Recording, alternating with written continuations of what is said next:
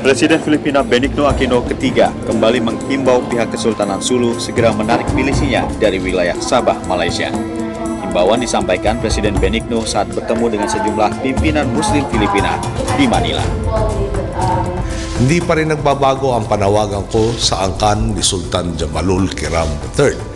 Hindi reasonabling humingi ng pangunawa kung nakatutok ang iyong armas sa muka ng iyong kausap. Magsisimula lamang ang reasonabling usapan oras na maging handa kayong huminahon at magtimpi at humarap sa mesa ng may bukas na pag-isip.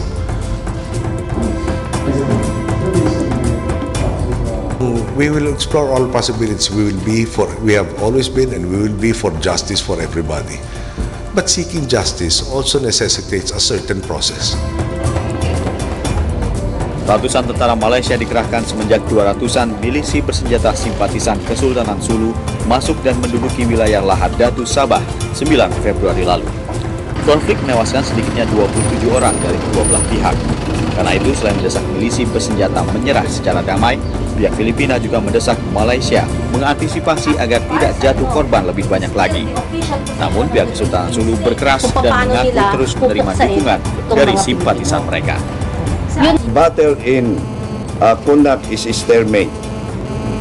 Pero may nakapasok patriotic people from Sulu, Basilan, Tawi-Tawi, and, and Zamboanga Peninsula. Last night at 11 o'clock, Sandakan is already in the battle zone. Asyo ni Sultan Jamalo Kiram III na ito ay makikita Selama perdamaian masih jauh dari harapan, silang sengketa kepemilikan Sabah nampaknya akan terus jadi batu pengganjal hubungan bilateral Malaysia dan Filipina.